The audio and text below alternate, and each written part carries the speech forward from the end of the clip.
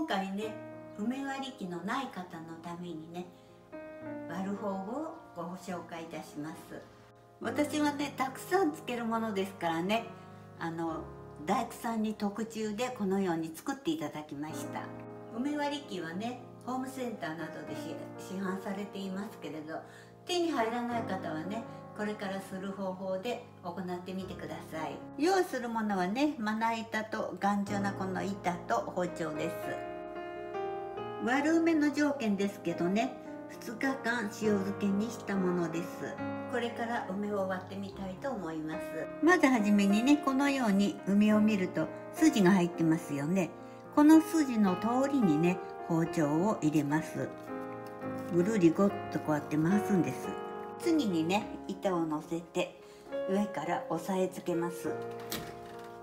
このように割れますのでね種を取ります。種を取り除きます。